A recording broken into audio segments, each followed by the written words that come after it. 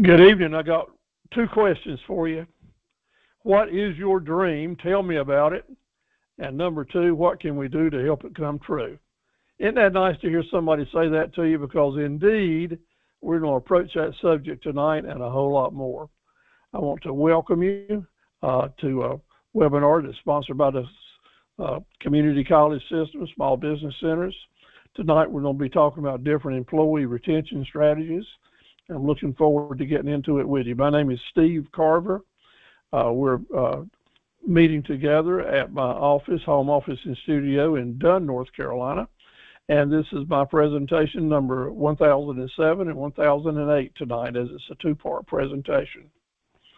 Uh, we do a lot of work in webinars, and so glad to see all of y'all uh, with us tonight and hope that you'll come back for many, many more. I'm not a lawyer and I'm not an accountant. Uh, I am not a CPA. I'm a fellow that's been in business, uh, different types of businesses for uh, 63 years.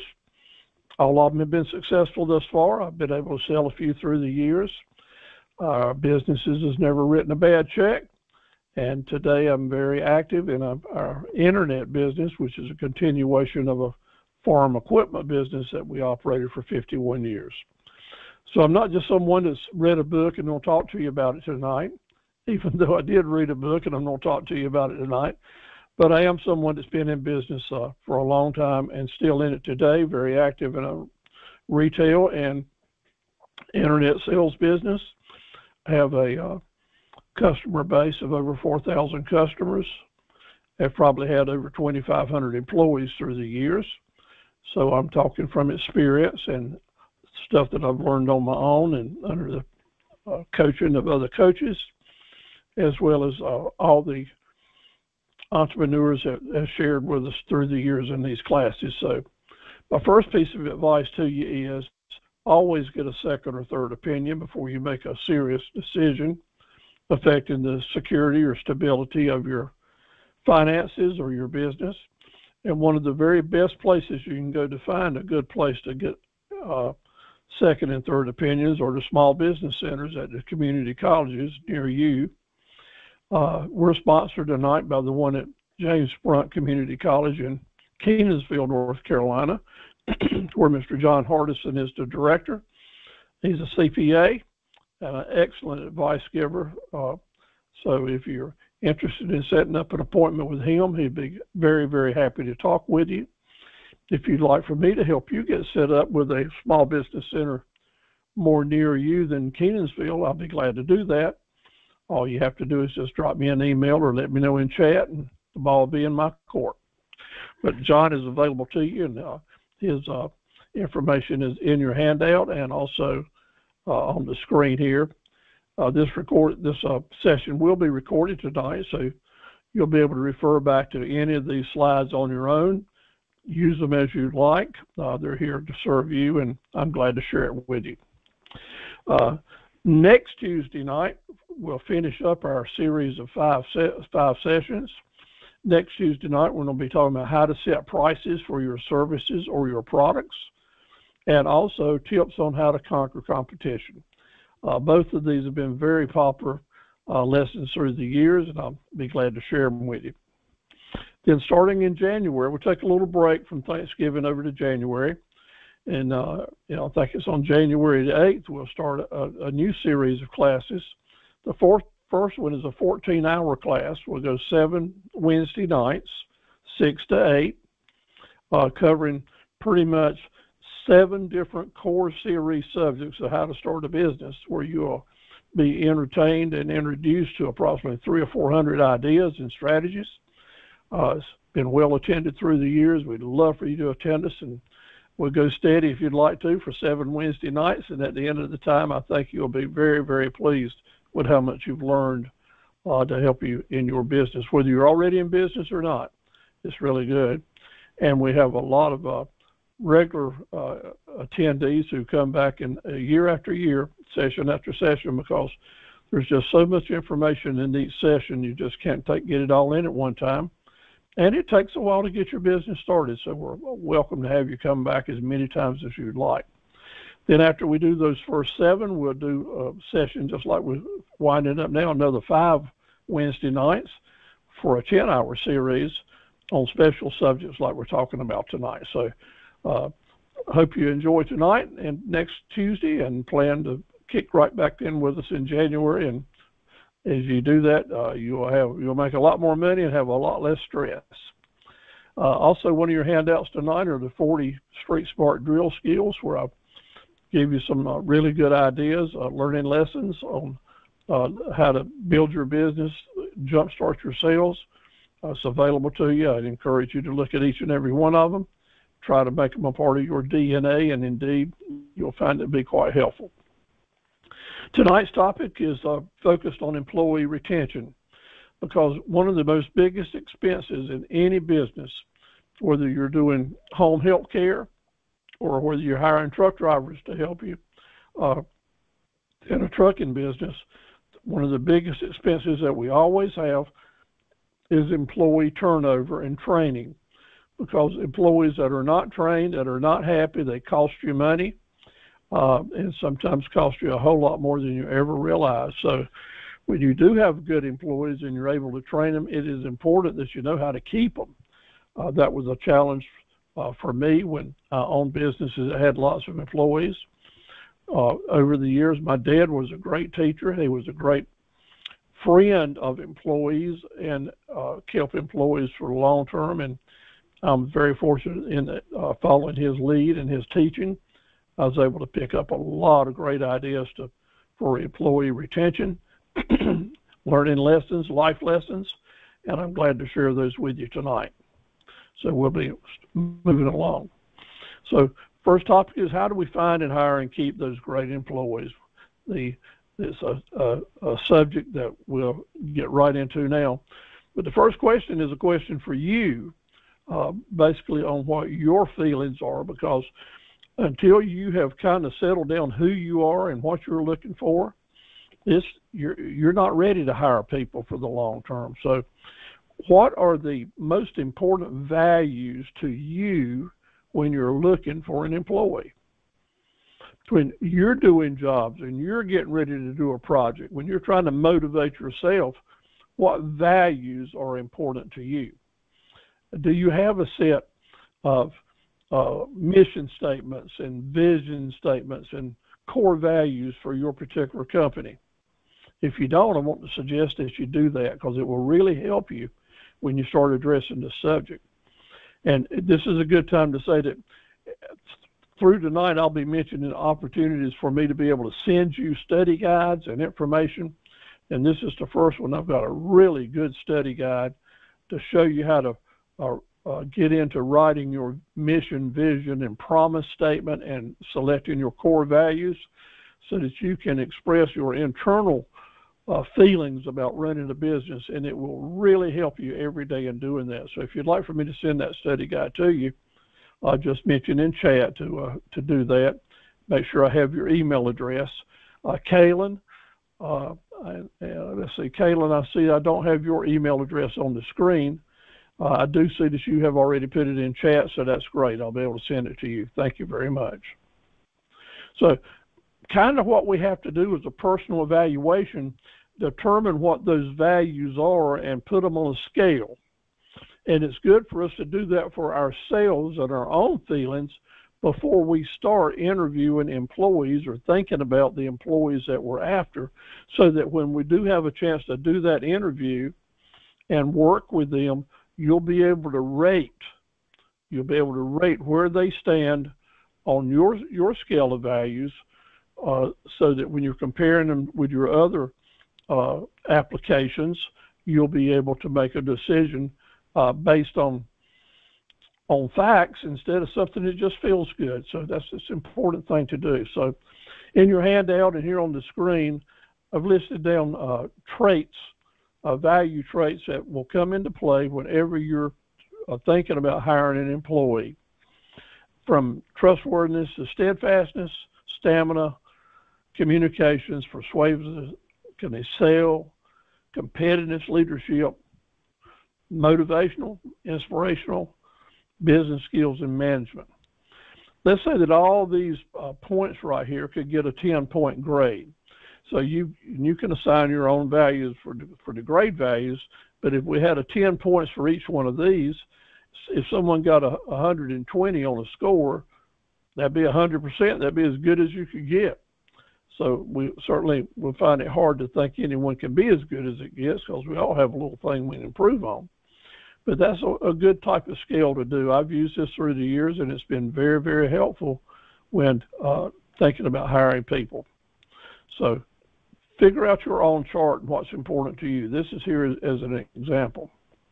So are you ready to hire your first employee or are you ready to expand, expand your current team? It's a fact that all of us may start out as one, one person shows, but as we grow our business, as we grow our business, we're going to have to, uh, in, in, in some way, uh, give other people the options and the directions to uh, to take care of, of, of things. We're going to have to direct them to do other things, assign them duties and such as that. And you are you ready to do that? Uh, that's, that's a question some of us oftentimes have to ask. Also, from the other standpoint, and uh, are are you going to be the type of employee like many of us will be working for other people and also running our business too, maybe doing several part-time jobs? The lessons learned here are what are other employers looking at me? How are they judging me? And I'll assure you that if they've been to any classes in this type of stuff, they'll be using some of the same guidelines that you and I are using tonight. So this may be a, mirror for you to improve your situations, maybe in a permanent job that you already have. I'd like to uh, take a note here that Sarita has joined us. It's good to have you on board, Saritas. And, and uh, Tari, it's good to have you on board as well. So let's talk about setting some standards for ourselves before we could expect some employees to, to do that. We as individuals, as owners of our business, have to set certain standards of hospitality and excellence. If, we're, if, we, if we don't have our standards set, there's no way that we can pick and choose uh, possible employees for the future. And a real popular thing in the USA industry world and in small business today is what's being called a plus one management style. Plus one management style. There's a lot of different management styles that you're that you'll hear about. I'm a walk around manager. Uh, I do this or I do that or whatever. But something that's becoming really important uh, and popular uh, for entrepreneurs is the plus one style of management. Let's get into that just a little bit.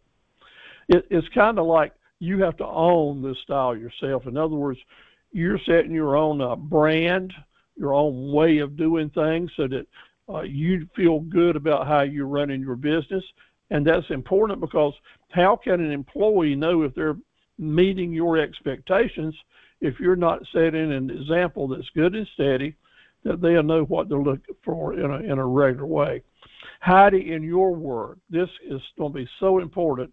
And you said that you have some uh, history in this field. Plus one management styles is used by a lot of folks in the home healthcare business uh, as it's uh, one that we can stay with. And it's so important as you will uh, grow in your business and have so many different employees that come and go depending on who your clients are uh, your management style will have everything to do with your ability to keep them and have them keep coming back. So, what does it mean that plus one style? One, setting service of sta- uh, uh, setting standards of general service, of hospitality, and what is hospitality? That is the way people feel about doing business with you. It's not your customer service standards; it's how folks feel about doing business with you.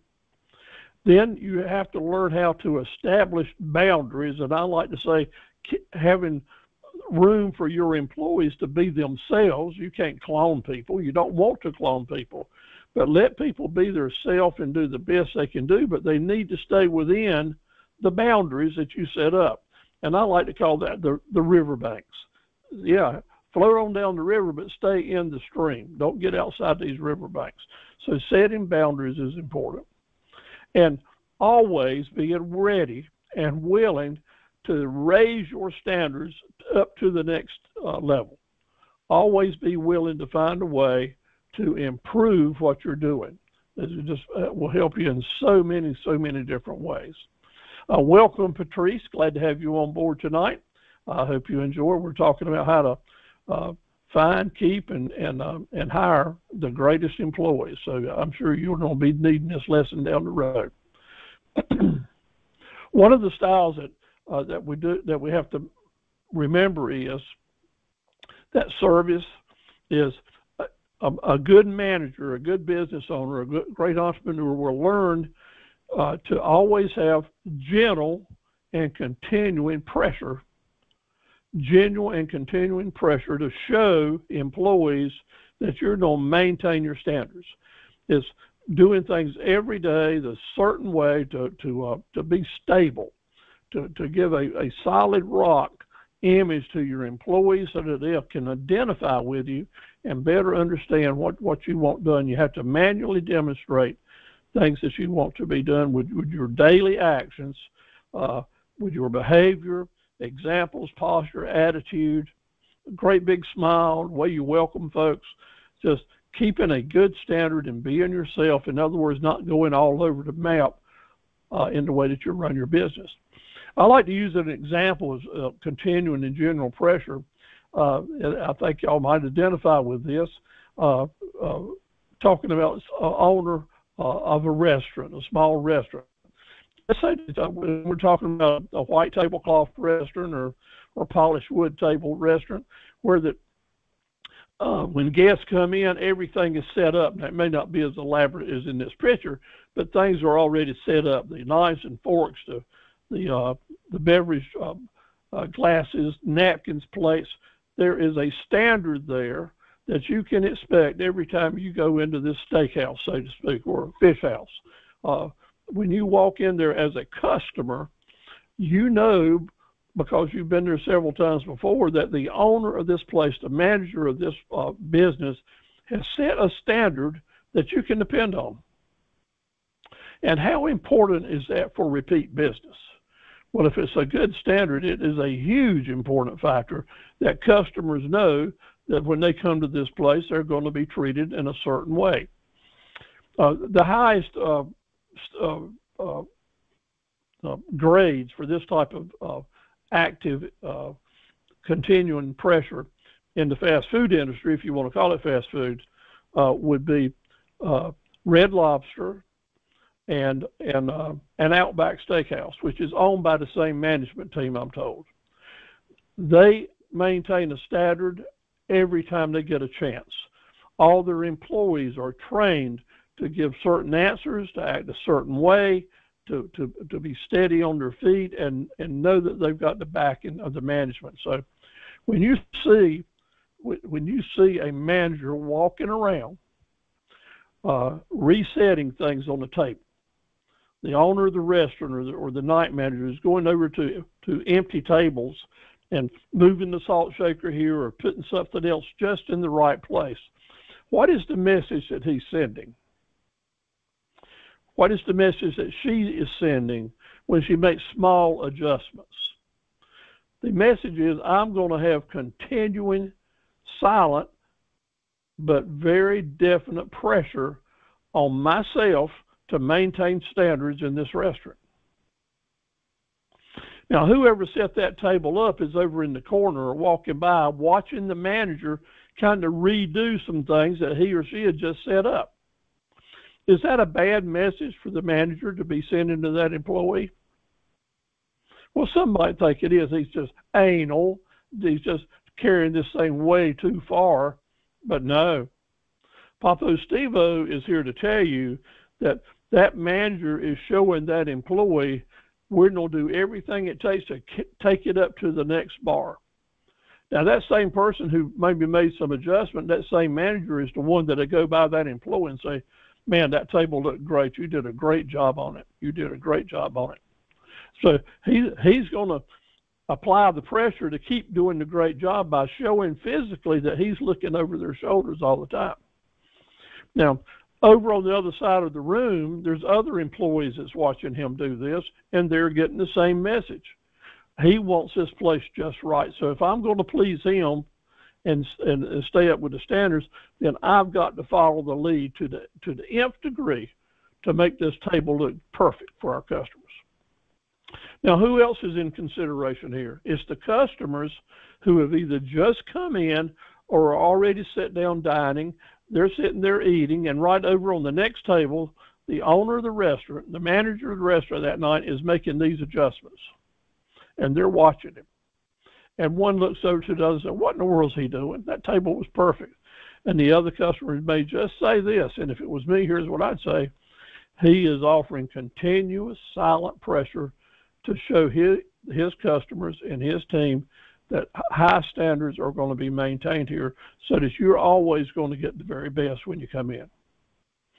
Now, whether you didn't like the feeling that maybe he was being anal and carrying it too far or not, you'll still be impressed with the fact that the standards are high and he's willing to go the extra mile to see that happen. And my friends, that is a good thing in today's world because how often do you see this happening? Not so much.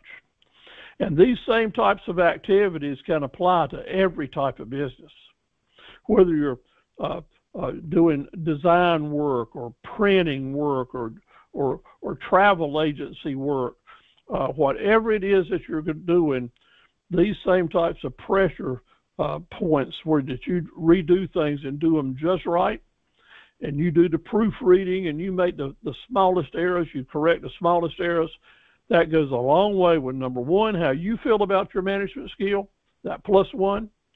Number two, how your employees will feel about it. But more importantly, you will be setting the standards for your customers to go out and tell the world this is a good place to go because that manager with his plus one style is making sure we're going to have a great, great dinner. So training your staff to deliver soul service with soul is important because that is the hospitality standpoint. How the customers feel, listen to what those employees are saying, and listen to what those customers are saying. Here's a here, here's kind of a little bit of magic. How do you maintain and keep great customers? Requires pretty much the same actions as how do you maintain and keep uh, repeat customers coming back. You care about how they feel. You care about what they're saying to you, and you're always ready to come back with a thoughtful, gracious, and appropriate response. That's right. That's when we're dealing with our customers. Come back with that appropriate response. What, what do you mean, Steve? Well, here's a little, just a little example in today's world, a lot of young folks are are, are, are, interested in saying, when I would say to to a, a, a wait person at a, a restaurant, uh, I really appreciate that great service that you are giving us today, and thank you very much. I, I'm going to give you a nice tip. And the response that you're liable to get is, no problem, no problem. In other words, they're making light of the compliment that you just gave them. Well, I want to tell you that is an inappropriate response for an employee to give because it is a problem if someone says, no problem, because the more correct response would be, well, thank you very much. We are, it's a pleasure to serve you. In other words, I recognize that you're complimented, and we deserve that compliment. And I want to say it is a pleasure for us to do, to give you excellent service in a very quick, nice, comfortable way. Thank you so much. I appreciate you saying that. We're we're glad that you enjoyed your time here, and we hope you'll come back. That's an appropriate response. No problem is a bad response. It is a there is a problem there. That's the difference in taking it to the next level. Management with soul makes you care about the way the employees feel. It makes you care about what they're saying to you, and you will give the gracious, uh, appropriate responses. And you will need to get used to it early on. Think about what you're saying because you know what? As owners and entrepreneurs and just human beings, it's very easy for us to say, well, in my business, I'm going to be myself. I'm not going to put on any show. I'm just going to be myself. And if I come out uh, uh, rough or gruff or, or, or hateful or a snappy answer or abrupt, as a lot of people have to say I am at times, then I'm making a mistake. Because you don't have the luxury with employees of being yourself sometimes. You do have the responsibility with employees to maintain a plus one management style, even if it means that you start changing your character and your responses to remember it's really important that you give someone a thoughtful and gracious answer. It's really important that we don't be abrupt because we're dealing with our assets of our business and our friends and our life and our customers. The, the employees are just as much and probably a greater asset than your customers are because they're the ones that are going to help you bring back in more customers. That see the difference what I'm saying in mindset? Yeah, we're the boss. We're the we're the uh, uh, a taskmaster. We can tell other people what to do. We have that authority and power over folks. When you think like that, I can tell you you are on the way to not keeping the very best employees. We have to remember to do things right. Now we're human and we'll get angry sometimes, and people will disappoint us, and we might fly off the handle. Hey, I, I'm one that's apt to do that. But I have learned through the years a little bit of wisdom can creep into someone whether you wanted to or not. It is so much better to try to maintain your responses in a thoughtful, gracious, and appropriate way that will lead to a better relationship with your employee. Try to remember that what we have to do is now is think about uh, talking with folks about coming to work with us. And I want you to know that, yeah, you can sit down and have a chit chat over coffee. You can get a feel for where they went to school and what they like and this and that, maybe what their skills are, their other experiences. But there is no substitute for a written application. No substitute for it for the quality that you're going to be able to find in your employee because that application means that you have given the time to set down in words questions that will help you find out where these people are on that scale that we talked about earlier. You want to have some questions that require a narrative response sometimes. You want to have some questions that re- require them to fill in the blanks at times. You want to mention your company policy and, and vacation things and things like that to get a little response back from them. Your application cannot be too long. Nope. You may get tired of writing page after page, but Papa Stevo's going to tell you here that your application for an employer employee cannot be too long. It can be too short because it won't get you the information you need. But as long as you're staying legal, you have, you make it as long as you feel like you need to do because it's going to be very very important for you, and you'll see why as we go on. The three keys in hiring are can, will, and fit. When I sit down with an employee, when I'm when I'm thinking about hiring uh, Patrice, uh, when I'm thinking about hiring Heidi, the very moment we sit down and we're having our narrative chit chat talking, I'm, I've, I've I've got my pad here, and I've written down beside the application can, will, fit, and I'm going to determine before I make a decision about this employee can, will, fit.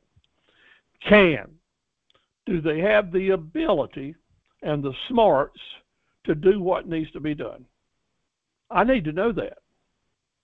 And I need to ask the questions that help me determine that. That's why that application may have some uh, some places for them to fill in the blanks. Can. Do they is there a light bulb up there that comes on and off? Uh, in that tray of pencils, uh, where do they stand up as being the sharpest? Okay? And we have to think that way because this is a time for judgmental thinking. Uh, maybe don't sound good, but someone's got to do it, and you are the one. Can this person do what needs to be done? Do they have the smarts to do it? Number two, will they do it? Will they do it? Is the right attitude there? Are they self motivators? will they do it? Have they given you evidence that will they do it? You can ask them, give me some evidence that you can get done what needs to be done, that you will do it. Tell me about some situations where you have motivated yourself to achieve something. Those are kind of uncomfortable questions to ask someone, right? Well, that's the ones that we need to ask. You don't need to be afraid to ask uncomfortable questions. Number three, fit. F-I-T, because someone can do it, someone maybe will do it, but another factor is, do they fit? Will they get along with the culture of my other employees, with me, with the customers we serve? Do they fit into this puzzle? Because there's just a certain amount of space in that puzzle, and some folks just can't fit into it. Do they have the personality to achieve what your goals are for the job? Notice I said to achieve your goals because you don't need to set that goal and already have a predetermined notion of what this employee is going to need to look like. So hiring that person is the key to finding the right people. Can, will, fit. Say that with me. Can, will, fit. It's the three first important things to remember. Can they do it?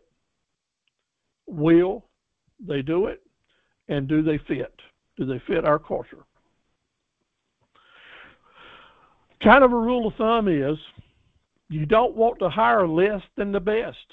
You're better off not to hire than to hire less than the best.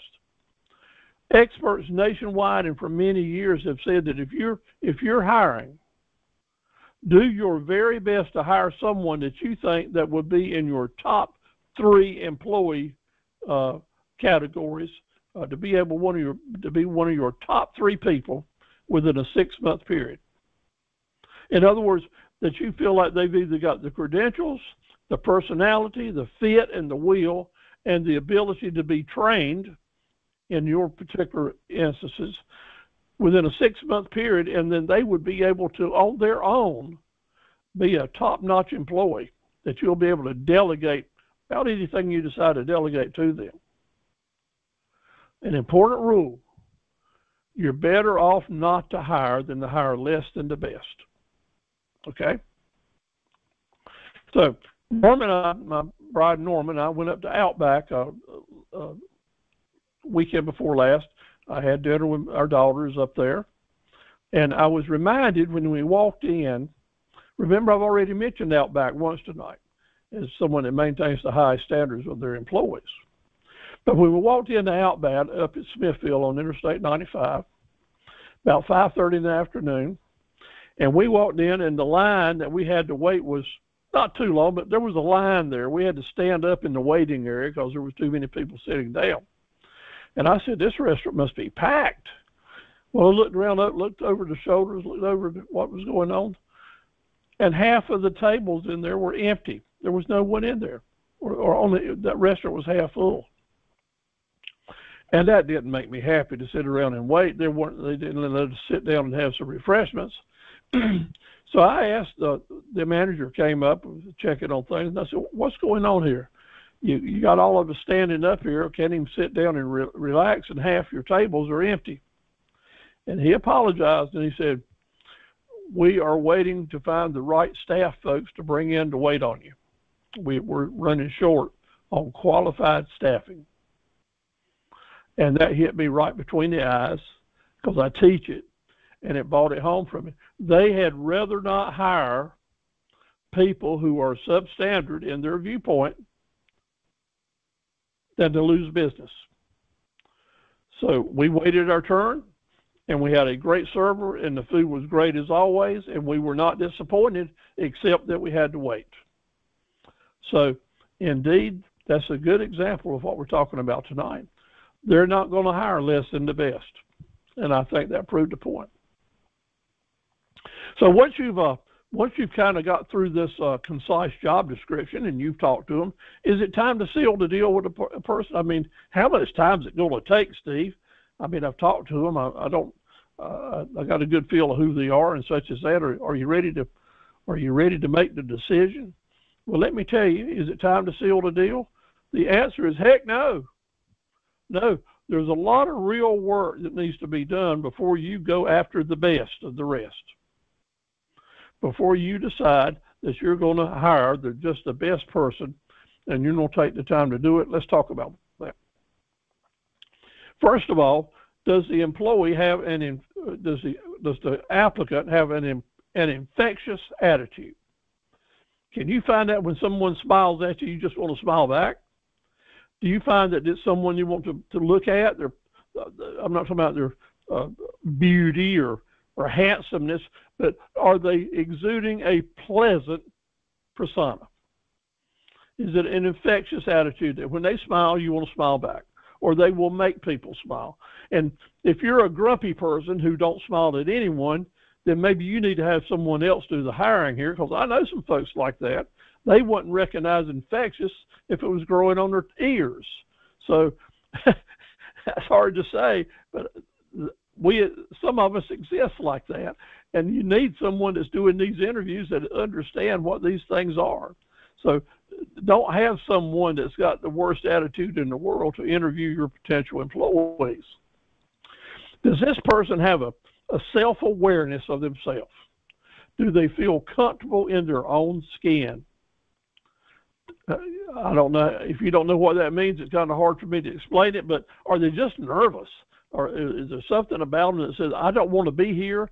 I don't like myself. I don't like the place I'm in. I don't like you, but I need a job and I need it bad. Please give me a job. I don't feel good about myself no one who ever comes up to me will feel good about me waiting on them, but, but ma'am, I need a job. Well, you need to move on. The reason they need a job is because smart people like you didn't hire them. Hard to say, you know, but that's kind of the way it comes down, in my opinion. In my opinion. Self awareness. How do they feel about being in their own skin? Now, does this person that's come to you green right out of high school, maybe didn't graduate from high school, maybe, maybe, maybe, maybe, whatever it is, but do they have any idea what it takes to run a business? Do they have any idea that for you to pay them, they have to earn money for you to pay your bills, for you to cover your overhead, for your company to make some profit and still have some left over for them? Does this person you're talking to have any clue of what it takes to run a business or the cost versus value. I teach that the uh, one of the main rule, one of the ways that you can do your pricing structures, we'll talk about next uh, Tuesday night, is that the three times rule.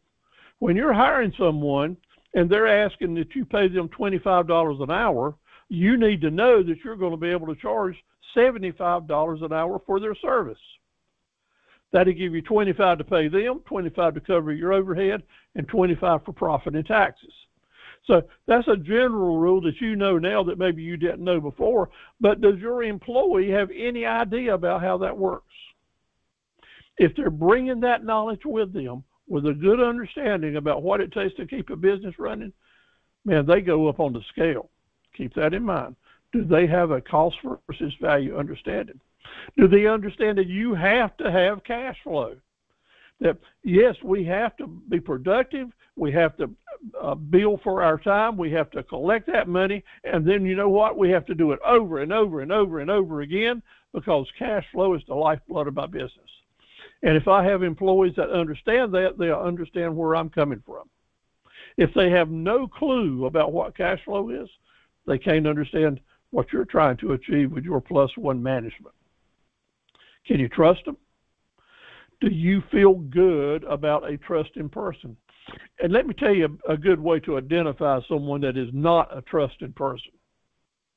Uh, not a, a, person that generally cannot be trusted is someone that is always accusing someone else. It's someone that's always saying someone else is telling lies about me. Those are lies. That's fake news. Uh, uh, this is fake. This is that uh, I don't trust people. I don't trust anybody. Well, generally, that is the first sign that a narcissist is in the room and it's someone that can't be trusted. So you can pick up, you can pick up those signals as you're interviewing your folks and the way you set up your questions. You need trust. Now, there's such a thing as folks who are con artists. Uh, they're really good at it. But let me tell you what, my friend entrepreneur, you're getting ready to hire employees. You need to know that you don't need to be conned. That's why that application is important. Those references are important because you're going to do your homework. Papa Stevo here is telling you, do not be conned if you can help it. And sometimes they're going to get you anyway. Sometimes they're, they're pros, they know what they're doing, but generally they're few and far between, especially and will not stand up to a sit down interview after they've completed a long application. You'll learn to do that. You've got to have someone that's trustworthy. Now, in sales, if this person is going to be selling for you, people are not going to buy from someone that they're not satisfied with their trustworthiness. So if this applicant is unable to sell you on their trustworthiness, they will not be able to sell your customer on that and therefore will probably be an awful salesperson who will take your money for a while and then go take someone else's money after you let them go. Trust. Do they have a sense of curiosity? So this is a this is a big one, and maybe you didn't expect this. When you're talking with a possible employee, you want them to ask questions of you. You want them to be curious about what they're getting into here, about what are their potentials, where can they go in this job, what's in it for me. I know what's in it for you. You're going to have a successful business and make money, but what's in it for me? Curiosity is a very good plus because someone that has curiosity is willing to listen to other people. They'll have curiosity when they're serving your customer, and they'll do a better job generally. I'm not making I'm making some assumptions here, but in the general run of things, if someone cares about someone else, they ask questions.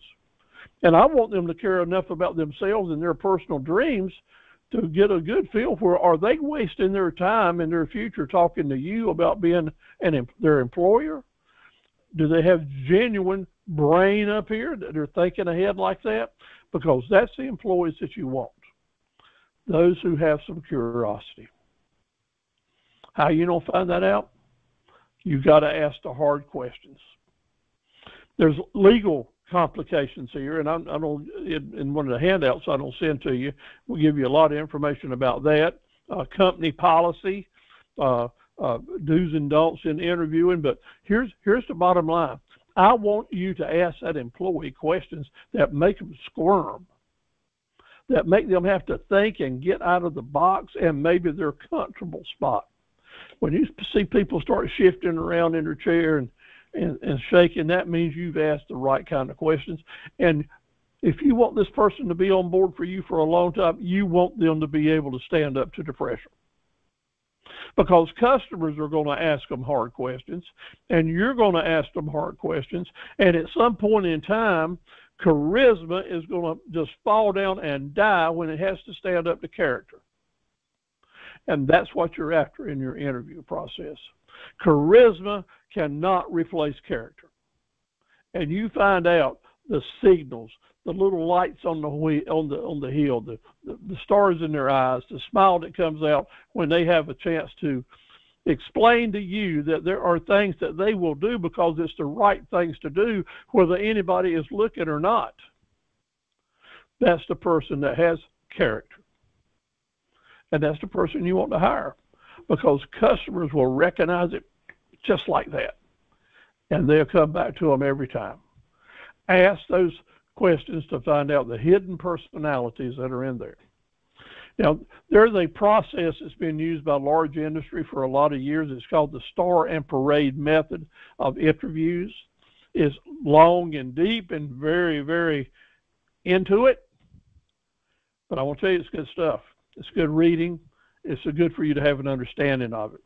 So in your handout is about star and parade methods. Star and parade are, are two people's names, and they've been doing this I think since the 50s. Uh, it's been perfected. A lot of good reading on the internet about it. If you're going to hire a lot of people, you need to at least have the knowledge. Give yourself a good a couple hour good read and check out the star and uh, parade method of doing interviews.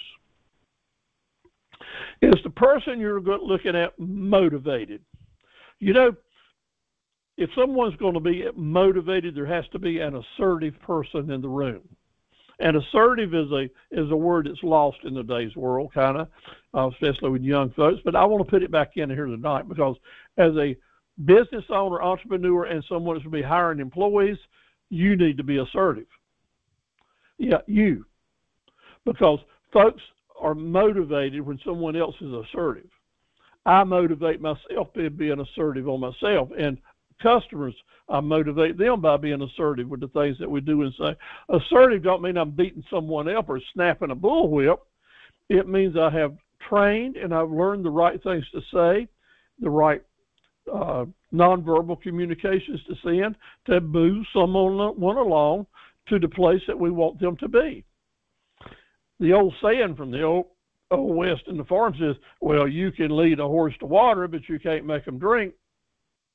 Well, in the new world of entrepreneurship and Papa Steve is, I'm going to say, not only can you lead them to the water, you can put their head down in it and encourage them to take a sip. By being assertive in the right way, the right training, you can do that.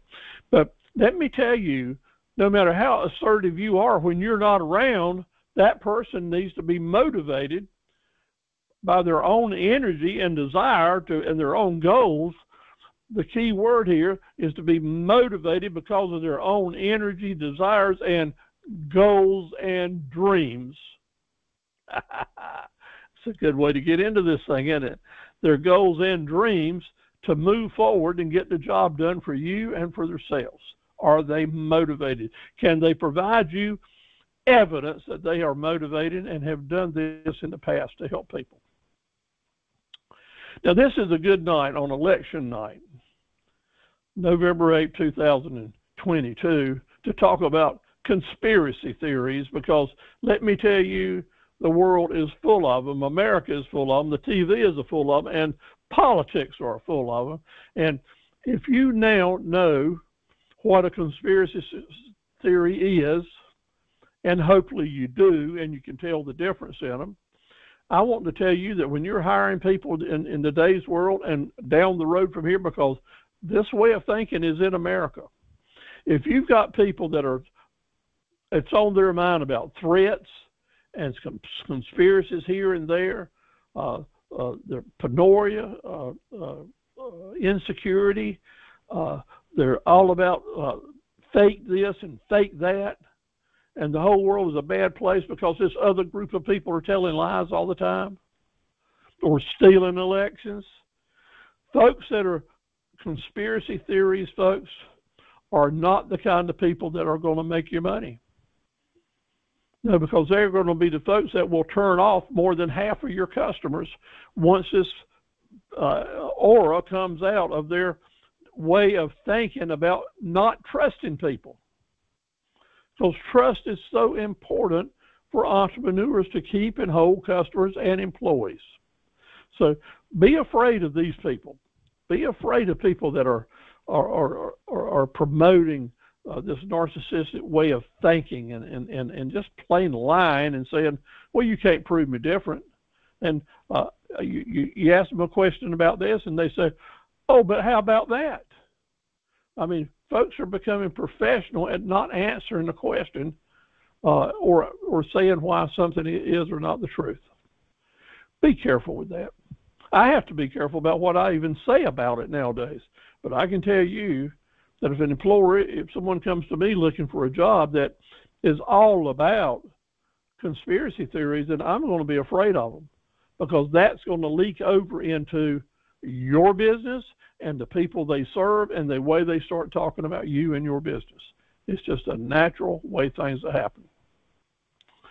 All right, we'll move on from that one. Character, values, and standards. What else has to be said?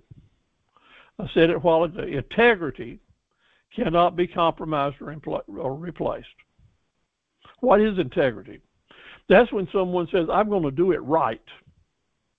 Whether anyone else is looking at all or even ever knows about it, I've just got my own honor and integrity that I'm going to be an honorable person and I'll be able to lay my head down at night and know that I've done the right thing with a good conscience. You know, there are a few people like that around. There's a lot of people like that around. You've got to give them a chance to tell you about it. It's it's perfectly okay when you're holding an honor, uh, an interview, and and someone's talking to you about this and that. They uh, let's say that they, they, they, tell you they're proud of that they go to church and they're proud of what they do. It's perfectly okay for you to look at them and say, "Tell me about your Jesus. Tell me what Jesus means to you." Or maybe they believed in something else, and you can say, "Tell me about so and so." Let them talk to you. Find out what's really in there. And when those people know and learn that that is important to you, then you have just gone up on the scale. You you you necessarily may not have to pay them as much to make them very happy, because they know they're working for a, a, a business owner, entrepreneur who cares and has the same values they do. And it's the same way with the employees that they're going to meet tomorrow for you too. We've got some folks that can laugh and sing and sell uh, ice cream to Eskimos. I know that I know that I can sell ice cream to Eskimos, but I don't let, I don't want it to have a thing to do with my character because charisma cannot replace character. And you may have someone that may be the hot shot salesman of the world because they got so much charisma. They got such a great hairdo. They have done this and they do that and they can tell a great story. But in the long term, a flaw in character will wipe that out and carry a lot of your business with them and have a lot of disappointing customers. You want to hire the people with integrity, integrity and character and be really afraid of someone who has an empty bowl with nothing but charisma in it. Ethics and conduct and trust, very important. Keep that in mind. And I'm here singing this song tonight on my uh, soapbox, just down the road somewhere. I'm hoping that when you're interviewing an employee, or maybe you are being the person being interviewed, you'll remember this. And you'll say back and you say, Hey, I learned the lesson here. I'm going to take the narrow road, the narrow road with integrity and honor. In the long term, it'll pay a great dividend for you. Okay, we've got them hired now. We've got them hired. And what do I say to you? The job is just started. Finding the right person, getting them on board, y'all shaking hands and agreeing on everything. We're gonna get started. You got them on board. So, what what is the key now? What is the key now? We got to stay connected. We just don't turn them loose, say sink or swim. We have to stay connected. We have to build a relationship with that person. And you'll learn early on that the closer you can stay with them and talk to them and understand that they need someone to talk to just like you would if you were new in a job. Those early experiences and challenges will have a lot to do with with whether they're going to stay with you for the long term and become that great employee that you have been after for a long, long time. In one of your drill skills, I, I, I say this to you, and I want you to remember it and be able to say it over and over and over. So someone said it a long time ago, and it's a good thing to remember. People don't really care how much you know until they know how much you care and they won't know how much you care unless you create that relationship and stay connected. People don't care how much you know until they know how much you care. Remember that every time you're headed into a conversation with an employee or a customer. So, what's it going to take to keep them? What's it going to take to keep them on board? How to keep those employees? First of all, you got to turn your radar on and tune in to the signals that employees send to you? Are they leaving you for more pay? Are they running away from responsibilities? Are they having a hard time measuring up to uh, a satisfaction level that you're showing to them? Are you getting, and you can get nonverbal communications from them as to what's on their mind. And if you're sensing that things just aren't right, that the relationship that you have had with them for weeks or months is seems to be deteriorating, whose responsibility is it to find out I mean, who's got the money invested in the training and introducing this person to your customers? And when they leave you, they're going to take that with them and maybe some of your customers with them. Whose responsibility is it to not let this fester, but to jump right on board? It's yours and his mind to get in touch with that employee to find out what's happening. So, what can you do to help your employees? So, first of all, I've got to say that as as I think the folks that are with us tonight, mostly we're going to say that it is single person operation. So the employee, there may not be a manager, a manager between you and the employee. Or maybe you're already in a job and you are a manager and employees are between you and, and the boss. So we'll talk about this as if you've got you're you're running a manager role here. First of all, is a manager has to have the same lesson. So if if if you want to encourage someone to be in touch with me and, and take this lesson with us again, fine. That's why we do it. But they need to create that motivating environment. They have to be willing to stand up for the team, to provide coaching, to learn how to delegate, learn how to give extra responsibility to some people, and and focus on their careers. Learning how to give uh, extra responsibility is different than saying, "I don't be a taskmaster and just load you up with more stuff to do." The way that is is perceived has a lot to do with with uh, with how the employee feels about it if if they think that you're giving them more work to do just to help you look better, the company to make profit, that's kind of negative.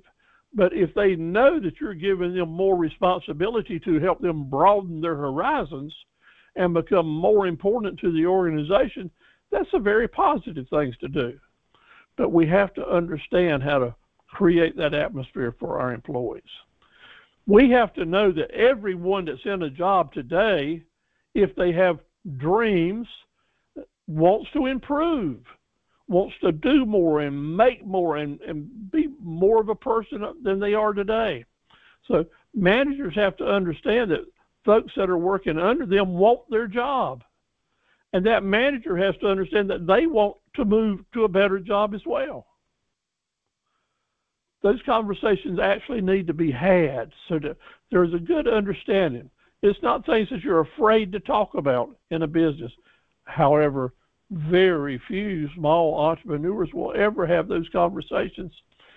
Therefore, their employees leave them all the time and go to somewhere they do feel like that their career has a chance to advance. That's what it's all about. So I'll give you 17 ways very quickly here. 17 ways to keep employees. Ready? Share your business visions and goals with them. Once you decide they're going to be an employee, you talk to them honestly about where you want to go and how they can go with you. Create that good environment, a good place to work, a fun place to work where people are honest and they look forward to coming to work in the mornings. It's up to you to do that. Take care of your employees. Take care of them financially. If you've got folks that are working for you, are you paying them what they are worth and deserve? Are you are you paying what they need to stay? Are they working for you because they just haven't found that other job yet? And sometimes through the years, I would encourage my employees if they were, if I was paying them all I could afford to pay them for what they were bringing into my company, I would encourage them to get a second and third job. There's nothing wrong with people having two or three jobs. That is not a, a stain. Let me tell you that I've had two or three jobs since I was 18 years old except for the four years I was in the Coast Guard. Even today, I, I do the equivalent of two jobs, and some might even call it three. So I know what it is to work. I know what it is to want to work and to love it. So if you've got a great employee, some way the best way you can help them is to help them find a second job to help them get to their goals and to help them keep them with you as well. Because if you're doing that, they're going to stay with you if you're helping them take care of themselves financially acknowledge number one, good work and hard work. Be willing to tell someone how much you appreciate them and what a great job they're doing and, and what this customer said about them. Make them feel good about working with you and the fact that you're willing to share that good feeling with them. But if you see that hard work, let folks know it and do it immediately. Don't drag it out. Let them know right then. Uh, find out what your the strengths are for someone. What can they do best, and see how you can use that strength to help your business grow. Give them plenty of room and elbow room to shine. A favorite saying of mine is, you find someone, you hire them, you train them, and then you set them free. You set them free to make money for your business and for them to feel good about making money for your business. So you have to give them the freedom to shine, uh, to let them be the best person they can be. Treat employees the way that you would want to be treated. It's just a golden rule. When you're thinking about making a move related to an employee, think about how you would feel about it if it was coming your way. Always be looking for a better employee that will help you make more money and grow your business. 24 7. The job recruiting is a 24 7 job. Never ever stop the opportunity from bringing someone into your organization that can help it grow. I know that sounds maybe strange, but opportunities don't come along often, and opportunities are found more often in people than they are anywhere else. Passion. Yeah, passion. People know how to smile and know how to cry. People that can identify with a customer that walks in with a sad face and a happy face. You want folks that got a heart, and when you can find those folks, you figure out a way to hang on to them. Are they fit for the job? Remember what the, the uh, can will fit. Are these people going to fit your environment? Are they self motivators? Are they self starters? Can you be gone for two weeks and these people will recognize that something needs to be done and go ahead and get it started? That's the folks that you want to stay with, right? And you'll ask them in that application, give me some evidence of how you are a self starter. If they don't have any evidence, then they're not a self starter. If they are self starters, they, they will know how to answer the question. You got to remember that every day is a is a challenge. There's a drama there in your life, and every employee is like the same thing. And these company these company goals that you have, uh, the, the requirements that we have to stay in business, the customer expectations, they're hard and they're fast and they're constant. But let me tell you, your employees are dealing with day to day problems just like you do. And sometimes we have to make exceptions. Sometimes we have to back them up and give them the room to take care of what has to be done at home. And they got to know that you're supporting them in that and feel good about it. And you know what? They will stay with you forever they will appreciate it because so many entrepreneur employers don't understand how important that is. If you see leadership in a in an applicant, you need to figure out a way if you can use them because leadership makes the world go forward. Leadership brings in more sales and greater profits and more opportunity. And you can't have all the leadership that's needed in a business. And if you think that you are, you're a narcissist.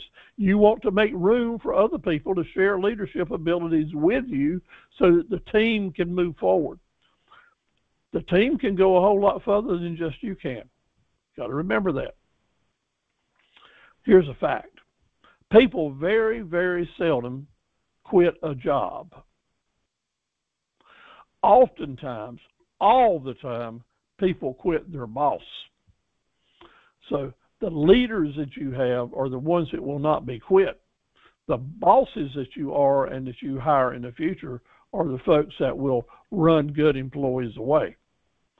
Keep in mind, you may be the boss today. You may own the company today. You may be headed to a, a higher expectation than you ever thought you would be, but you've got to keep in mind we cannot uh, Im- improve our situation by walking on the back of our employees. They lift us up. We can't walk on their back. Be the leader that they want to follow. The drill skill that one of the drill skills is always remember people quit a job, but uh, very seldom quit a job, but oftentimes quit their boss. Now, every now and then on a calendar, maybe at least once a year, you need to have that one-on-one session with every with each and every employee and I like to call it a stay interview. Uh, let's talk about how things are going. How do you feel about it? Where are we headed? What suggestions would you have for me? Uh, what do you think of your manager? Uh, how can you see the company growing? What are the mistakes that we're making? Have that stay interview so that the employee knows that they are an important part of the future of your business. Have that stay interview so that the employee knows that they've got a future with you and that you care about it. Have that stay interview so that they know you know what their dreams are and they know what your dreams are. Be the wind beneath their wings for some time. No one has all this all the support that they need. And no support is any more important to an employee than knowing that their employer is proud of them and feels good about them and lifts them up with a good, gentle, warm breeze and helps them soar every time that we can. Not soar like you got a sore back, help you soar like an eagle. And when you have that feeling, and employees have that feeling about where they work, and it's a family that helps each other, that's a good place to be. I have employees that come to me that work with me for 25 to 40 years. As a matter of fact, I still have one employee left, and she's been with me for almost 50 years. When I sold my businesses 15 years ago, uh, I think at the time we had approximately 17 employees, and the average time on board with us was 25 years. That was the average almost every one of them had been somewhere and came back. Our atmosphere, and we worked at it, me and every employee that worked it worked really hard to create a, a business family that cared about each other. And it was really tough when one of them left us for one reason or another. And sometimes I would encourage them to leave. If they had an opportunity that was better than what I could offer to them, I wanted them to be, have the best life they could. But for some strange reason, they almost always came back. Sure did. And even those that didn't, I don't have a single employee that worked for me or my father starting in 1959 that we don't have a good relationship with as long as they lived. Also, I'll share with you that having that kind of relationship with those employees ex- expand out to all the people they know who, who may be potential customers. It's a good thing to do for business in general. Care enough to be the wing beneath those wings for your employees. Tell the world every time you get a chance about how proud you are of your team. Let folks know that this is the greatest group of employees that I've ever had. We make a great team. Well, we make some mistakes and we drop the ball sometimes. Things happen, they just do. But all in all, I'm so happy with everyone that we work with and we work together as a team and care about each other's families. Tell the world that, and the world will come to your door because that's the kind of businesses they want to do business with. When did Amazon tell you that? When did Target tell you that? When did Walmart tell you that? Nah. As your entrepreneurial team, you be proud of the people that you work with and make the world know it. Tell the world that you've got the very best group of skills and talents that you can find, and as your customers are reminding you of that all the time. Now, I want to tell you, number 17, now you know, keep those employees, become a dream manager. Become a dream manager. So very important. One of your handouts is going to be an employee handbook, a sample one because for you to have the employees, they need to know where you stand in your business. And as you're getting your company up and started, you can use this as an example. It's just something, in my opinion, but it'll surely help you get started uh, doing your own employee hand, handout. Let's bring it home here for just a minute. Get a drink of water. Y'all want to take a break for a second? Get you a glass of tea. Uh, let's take a two minute break here, okay?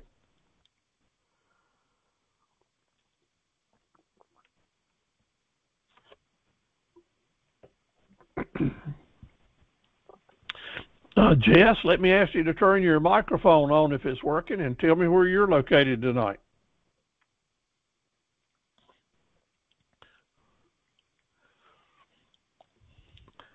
And Patrice, do you have a, a microphone working tonight? And Sarita?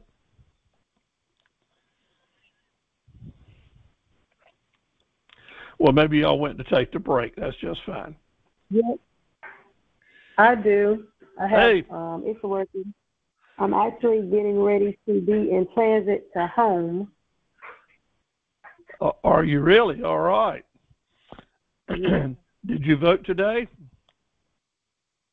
I did not. I voted last week. Okay, good for you. good for you. All right. Well, I appreciate you being with us tonight, Patrice, and hope things are going well. Thank you. Yes, sir, they are. All right, let's talk about managing some dreams. You want to see a dream come true? Well, Patrice has the business to help you have dreams come true. I'll put a little commercial in here for her because she has just started up a travel agency where that she is booking uh, people on their dream vacations. Very affordable, very easy to get into. So uh, if you want to uh, go on a short cruise to the Bahamas, or uh, all the way to Hawaii or Japan or Australia or or the United Kingdom or even over to the mountains of North Carolina, Patrice can help you have a very pleasant trip and help you get all the arrangements set up and save you a ton of money. So if you have an interest in seeing Patrice, send her a, a message on chat or ask me to get you in touch with her and she'll help you line up a vacation for you and your friends and your family. How's that for a commercial, Patrice? Let's talk about managing some dreams. That's a, a, a, a blue sky subject, isn't it?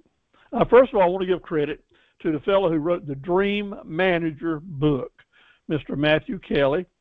Wrote this book a number of years ago, and it has sold millions and millions and millions. I have bought several of them, uh, probably 20 or so, given some away. Uh, uh, ordering for some other people. And I want to tell you, this book could take you, even a slow reader like me, it's in pretty large print. This little book could take you maybe two or three hours to read, first time. And you know what? After you read it the first time, you are going to want to go back and read it again slowly so you can absorb it, so you can absorb what it has to say. Uh, he sold over 50 million copies of these books, and I, I give him 100% credit for giving me the idea to start uh, doing this. Uh, him and, and one other person I want to talk about. I want to give special credit to uh, the late, who passed away about five years ago, Byron Horn. Byron was raised in Eastover, North Carolina, uh, then uh, went to Texas, where he followed a, a, career in employee benefits and uh, helping folks find jobs. Uh, just a wonderful individual. And he and his wife Dorothy uh, lived their adult life in Longview, Texas. He passed away in 2018. Byron was a musician, a friend, a teacher, and uh, a cousin of my wife. And when he was spending some time with us here in North Carolina on vacation, he was telling me when I asked him what he did, he was telling me that he was uh, working with the Texas Department of Employment, uh, giving dream manager uh, lessons across the state to folks who wanted to uh, participate in dream management work. And that just caught my ear now. I'm telling you, it caught my ear. And uh, I, I said, Well, tell me more about it. And he did. And now I'm going to tell you more about it. I want to say to you that that uh, after Byron talked with me, and I started sharing this with some of my uh, uh, seminars back then. One of the small business center directors uh, that that I was working for said in that lesson that night, took notes, uh, wanted a copy of the book, didn't say a thing about it other than this was, hey Steve, this was an interesting presentation. And about six weeks later, maybe eight weeks later, I, I got a, a, personal phone call uh, from this lady who was director of the Small Business Center. And she says, Steve, the Dream Manager uh, program is a life changer for me, and I just wanted to share this with you. I've taken seriously what was said in those lessons, and I talked with my, my family, and I've decided to uh, resign my job here as the uh, Small Business Center Director, and I'm going to uh, pursue a dream that I have in being a real estate uh, uh, agent in California and I have made arrangements to move to uh, to California, and uh, Bel Air, I think, was the place that she was going. No, Santa Monica. I've got a job. My I have a daughter out there, and I'm gonna go out there and make a life. And I was just shocked, just shocked. Uh, and she put it all on the dream manager. Said she hadn't even thought about it before, other than just being a dream. But then she realized that maybe dreams can come true, and uh, she applied the lessons, and they did. Now this was uh, maybe 17 years ago, and I just this past week heard that maybe uh, she is uh, moving back to North Carolina. Uh, she has some uh, relatives here that need her. And she's the kind of lady that would pull up stakes and do it. But I talked to her several times while she was in California, and she really was so glad that she had made the move for her life experiences. So I know this can make a difference. In my personal life and with some of my children, it's made a world of difference. And I've had no less than a dozen folks tell me that they have applied the Dream Manager lessons to different aspects of their life and business, and it's made tremendous changes. So let's get into it. There may be something here that you will apply or share with your family that, that will make a major difference. I want to give credits also to my daughter, Dr. Sarah Williams at ECU, uh, Paul uh, Meyer, and Jim uh, Roth, who has also uh, picked up some good ideas from things that they had said and done. So, what's your dream? What is your dream? What What's it going to take to uh, work with family and friends and coworkers to have a win-win-win concept? Because when you learn to manage your dreams, you'll open the door to a lifetime of continuing achievement. It's just that simple. A lifetime. What is your future?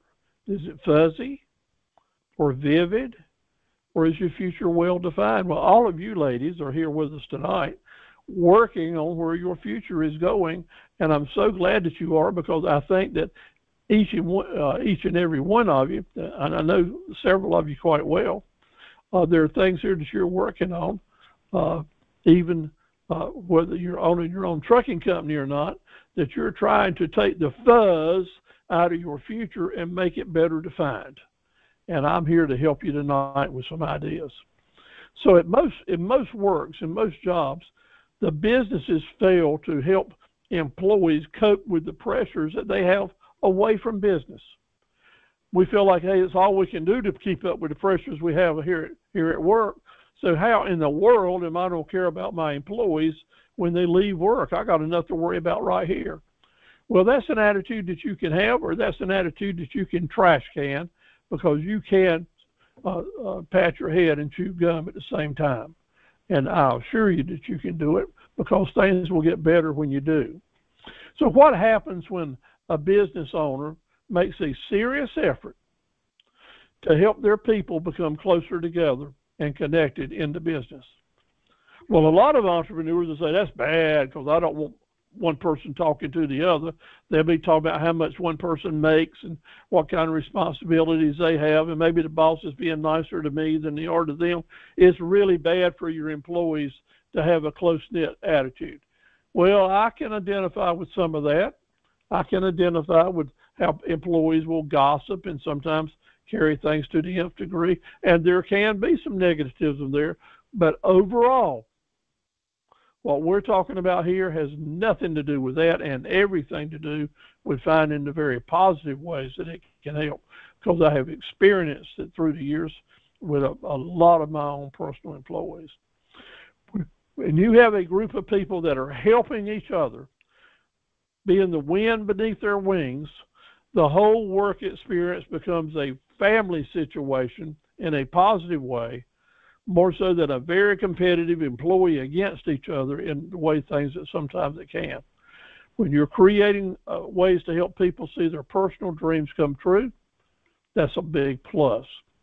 So Paul Meyer would say, before you can understand and motivate others, first of all, you have to understand and motivate yourself.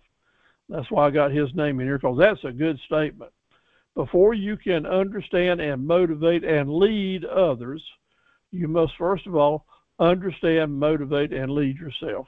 How true that is. How true that is. I have to do it every single day. So, how many written dreams do you have? Take a deep breath here for a moment. And I want to ask you to let yourself dream big. Go for it. Dream big. I'm talking about the bucket list now. Have some big dreams. Without limits, no matter what it costs or distance, dream big. And only share those dreams uh, uh, on the list right now. And it's okay if someone else has mentioned a dream to you, for you to take that dream too. You're not taking it away from them, it's just going to become your dream as well. And then to kind of put in your mind that I'm going to support and encourage other people to see their dreams come true. That's the first tip. Allow yourself to dream big. Now, there's several areas of focus and you'll enjoy this when you're working on it with your handouts. Uh, if you hadn't got it, I'll be glad to mail it to you. There's several areas of focuses that people can kind of identify with their dreams. They're all listed here from physical, emotional, spiritual, uh, material, adventures, 12 different areas. So the physical would talk about health and running and quit smoking, losing weight, drinking less. Intellectual, maybe going back to school or reading a book every month, learning another language, emotional about how to get along better with your spouse or your children, or or or maybe uh, I want to buy my own home, or, or I want to get into a relationship, maybe I want to take my wife to Italy. Character, I want to develop patience. I want to learn to do what I say I'm going to do. I just want to build my own character up. And I want to be respected. I want to, to, to uh, completely be trustworthy. Financial may be that dream you're interested in, and it always creeps into most of us. subject. I'm planning on winning the lottery. How about you guys? And when I do, I'm going to pay off all my debts. I might co- start a college fund for you and I. I'm going to earn right much money each year, and, and uh, I'll probably hire my own financial advisor. It's good dreams spiritual, I want to learn how to find an inner peace within myself. I want to in, enjoy uncertainty sometimes, or I maybe just want to study the scriptures and be able to memorize some Bible verses that I don't know.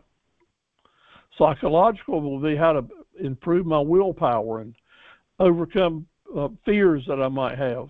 My having an addiction that I, I, I want to kick in the butt. I want to get rid of this addiction. That's a reasonable dream that a lot of us might want to have. Maybe you're an adventurer and you want to go do some visiting around the world. Well, we got Patrice that's going to help us do that. Uh, maybe it's time that you just want to be creative and write that book, play a guitar, uh, learn how to paint, maybe grow a garden, whatever the creative motives are. Maybe material, get a new car. Uh, I want, I want that, I want that watch that I've waited for for years. I think it'd be cool if I was wearing a Rolex. Uh, uh, I want to own a place on the river, by golly. There's a place down on the Cape Fear River I want a cabin on, or maybe at White Lake, or maybe at, the, at Emerald Isle, or something in the mountains. Uh, I visited Lake Junaluska a, a few weeks ago in in uh, Waynesville, North Carolina. What a beautiful place to have. A, that would be a dream home on that lake up there. By golly, professional wise, I want a promotion. I want to build a new product. I want to become number one in my market, the very best I can be. I, hey, I'm getting a age on me now, and I want to build a legacy. I, I want when the people read my obituary, I want them to read about what a great grandfather I was, uh, the volunteer work that I did, how I helped volunteer uh, and donate things to charities that meant a lot to me. A, a legacy is important. So here's your challenge. You ready for it? That was a lot of fast talking, one, and I know that if I got your attention, you're going to want to get the Dream Manager. You're going to want to get a copy of the study guide and pursue it. Let me encourage you to do it. It could be a life changer for you and for your children and other folks you love, and of course for your business. The challenge is identify three of your dreams that you would like to achieve during the next year, during the next 12 months, and write them down. Just three of them. And then let's write a little plan on what it's going to take to achieve those. You know the difference in a dream and a wish? Well, a wish is just smoke and mirrors. It may or may not happen, like I'm wishing to win the lottery. But a dream is something that if you work at it and some things happen, tangible things happen, that it can come true. And if you write it down and you start making a plan, that you're going to do one step at a time, you are on the way to seeing that dream come true. Just like you are on the way to seeing some dream come true because you decided to sign in here tonight. I know you didn't do it just to hear me flap my jaws. You did it here because you're looking for a way to move to a different place than you're at today so that tomorrow will be a better day. And I am so happy that you've let me be a part of your journey. That seeing my dream come true is letting me be a part of your journey to get to where your dream is carrying you. But you've got the right to plan. You've got the right to plan. And next, find a partner. And this is so important. You need to find a partner that will share their three dreams with you. And then y'all talk about it. Share with how these things may work together what steps you can help them get to and vice versa. Because here's the amazing thing about tonight's lesson the human being in us will not let us hear somebody else's dreams and what they're trying to achieve without us having a, a feeling of wanting to help them get there. And the very minute that two people start trying to figure out a way to make something happen, the chances are twice as good that it will happen. And if you've got a group of three or four people working the same way that are taking this very seriously and, and meeting uh, on, on a regular schedule to discuss what progress we're making, you will see amazing things happen. An example is that a person called me up uh, several years ago that told me they had had heard this dream manager stuff, and their dream at the time their dream at the time was to own a camper. That a simple thing. They just wanted to go camping, and they didn't have much money. They had a little budget, but had a big dream. They just wanted to go camping, and they shared that with their group of employees. And a number of months later, a few months, not a lot, but a few months later, after they had been in a meeting and they had shared this information, they got a phone call from one of the people that was associated with the group who was in another state riding down the road and saw a camper out beside the road that had a for sale sign on it, pulled in there and got the details, and it was exactly what this person had been looking for and within the budget they could stand. And within two days they had went down there and bought the camper of their dreams and within their budget.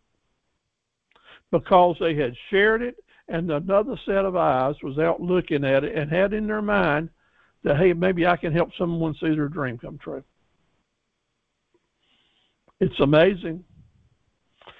Sharing with other people your dreams and listening to them puts together a community effort we hear about the power of prayer when we when we're talking about religion and christianity how powerful that is how it can move mountains and heal industries and change attitudes with the power of dream management group action can help other people see dreams come true. Yeah. If you want to pray for something, pray for the dreamers. Now, you're seeing right here, if you've got a group of people and you're the dream manager at your business and you have meeting with your employees or you have a group of employees that are meeting, how this thing can get started and go. Or it might be a Sunday school class or a circle or just a group of girlfriends that are together or a group of guys that go camping together or go fishing to, to have these dream sessions. Hey, this is not sissy stuff. This is not, oh, fluffy mess. This is real life that can change the world. But you have to you have to write the list down and then find a partner to share it with. And then next, we need to follow up. At least once a month, have a meeting, have a scheduled breakfast or a meeting at a club somewhere or, or at a restaurant. Everybody pull your list out, go down the line on what's happened since you last talked, share ideas and chat about it. It is fun and it can be so meaningful for you. So meaningful for you. So the challenge here is is to make it work, is to get started. So I want to say to you, keep dreaming. Take five minutes every week to spend in your dream book. Add dreams all the time. Includes pictures and quotes and articles. If you see something about your dream, cut it out, save it, scrapbook it. Ask your friends and your family uh, to talk about the dreams with you. Find out who can assist you to get here. We can't do it by ourselves. Find out who can assist you. And then what, what makes it happen? What makes it happen for a business now? It just takes a commitment to make it work. Maybe you are already in a business where you've got a, a group of employees that you could do this with, or a group of friends, or a, Sarita, I know you're active in your church, maybe a Sunday school class that might want to do it. Uh, give it a try. Have a chat about it. Have a dream manager come and just tell you about the story. Okay? Schedule monthly appointments with every employee and make it happen. When you read the book, the book is about a small business who's having trouble hanging on to their employees. That's all I'm going to tell you. But by the end of a couple hour read, you will see how amazing that it will it will work. How amazing it can work. How can it work in your company? How can you make help companies have dreams come true? I want to tell you that that it does work. So the question is, how can you expect an employee of yours to really care about the success of your business, to really care about you seeing your dreams come true? If you don't really care about seeing and helping them see their dreams come true. Because when you do, things will change. People will stay with you. They'll want to stay with you. They'll want to stay with you a long, long time. I can share with you, I don't want to get too personal here, but I can share with you that in my little company, and it was a small company, the dream manager theory helped us see some employees own their own home. The first the first members of their family life history that had ever owned their own home. Yeah, that was their dream, and I have seen two or three of uh, my employees do that. Our little small company saw probably as many as 25 people graduate from college, children of my employees, and a few of the, the employees themselves graduate from college that had never in their family history had ever anyone ever graduated before. I take great pride in that because we, as a company, as a family of employees, helped put together a plan to make that happen. And health wise, when people were sick, the, the support of filling in and, and, and, offering personal support and backup for people when they had uh, problems that they needed help with from fellow employees and fellow employees who knew other people that they could bring in.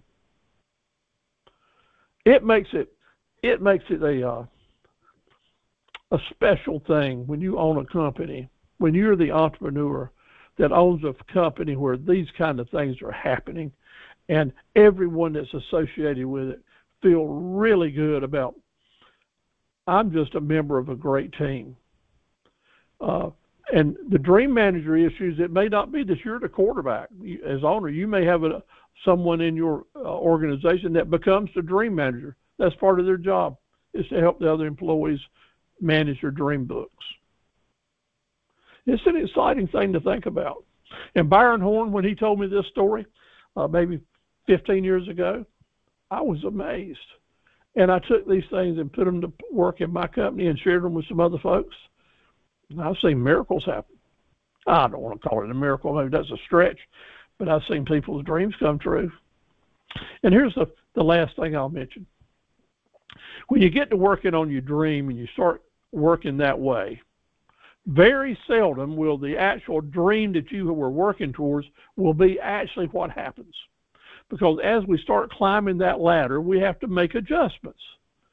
Yeah you didn't you didn't plan on this being in the way so you make an adjustment to move over here but you keep climbing. That's to keep you stay in the game and i'll bring the word back that i'd love to use so much endurance. You have that endurance to see you through. You have that intestinal fortitude guts to see you through. And as long as you keep climbing, the dream that you see in reality may not be the same one that you started at when you started up the ladder, but it will be fantastic because it's such a better place than where you were when you started. The only way you're going to see that dream come true is to start climbing. And climbing together with a dream manager type plan makes you get up the, the, the runs a whole lot faster because other people are helping you do it. I believe that. Say tonight, I don't say to you, when I say my prayer tonight, I'm going to pray that each and every one of you will consider pursuing being a dream manager for yourself, your family, and your future employees. I feel good about that. And, I, I, I'd appreciate y'all joining me in that effort. Next week, we're going to talk about how to set prices on your products and services with planned discounts. I don't say to you, I don't ever want you to give a discount in your business that you didn't plan to give. Then you're going to be able to make a lot of sales and end up with the profits that you need. I'll show you how to do it next week. And then conquering the competition is just some good tips that have been well proven through the years that won't cost you a penny to implement, but will help you stay on top of your game. I want to remember a little bit about my time at Cape Lookout. I was in the Coast Guard in the 60s, uh, 1966 through 1970, and I spent a couple of years at Cape Lookout down on the North Carolina coast, just off Beaufort, North Carolina, in Morehead City. And one of my jobs was to go up every morning. I was a, I was an engineman, and one of my jobs was to get up early in the morning and climb those stairs to that lighthouse and go up there on top and and uh, wipe off all the salt off the uh, the lens and the windows of the lighthouse. And of course, at 23 years old, that was that was a hop, skip, and jump for me. I loved it. And I get up there, and after I wipe those lenses down, I'd walk around outside, and usually it was around dawn. The sun was just coming up, and the most beautiful views you've ever seen in your life is watching the the sunrise over the ocean at Cape Lookout, North Carolina, uh, on the Outer Banks. And I sit there and I did a lot of dreaming. I'm a, I'm a dreamer. I'm a romantic from that standpoint. And uh, I can't look at that lighthouse without thinking of all the dreams that I have and how many of them have not come true. But you know, I've got close to quite a few of them. Worked at it, had a plan, and with that plan, you see things happen. So I would encourage you guys. Uh, I can tell that most of you are very young. Uh, have a plan.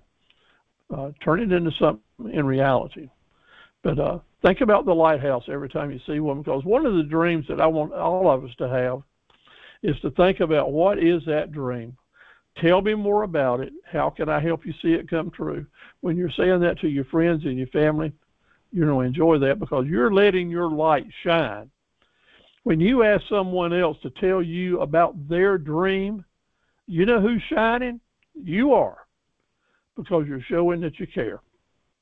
So, want God to bless you and your family and your business, and I, hopefully He's going to help you see a lot of your dreams come true. I really do. So, thank you all for being with us tonight. Uh, I invite you to turn your microphones on if you'd like, share any comments that you might have, ask any questions, and uh, we'll go from there. Hey, um, this is Tish. Hey, Tish, how you doing? Good, good. How are you? Um, the internet service ha- has not been working, and they keep. So, but anyway, I was able to call on the phone, so I wouldn't miss it. Well, I'm But glad I- you did. I do agree with you on the whole dream management. That works, even if it's just something that you feel is really tiny. It's like taking the small steps get you to the bigger steps. And once you Uh. build that momentum, you, you just keep going.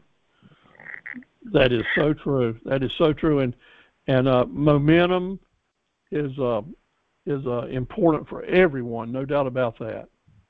No doubt about it. So I appreciate you watching. Anyone else have a comment? And uh, Tish, wanted to say it. Well, let's say Tish and uh, Sarita, we'll be sending out our certificates uh, sometime next week. I'm looking forward to get, getting them out, and I appreciate your help with them. Nice. All right. Well, there- No Yeah. problem.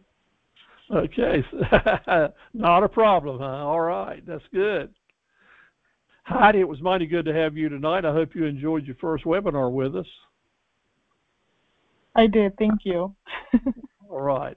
I'll look forward to sending you information. Looks like several folks have asked for information.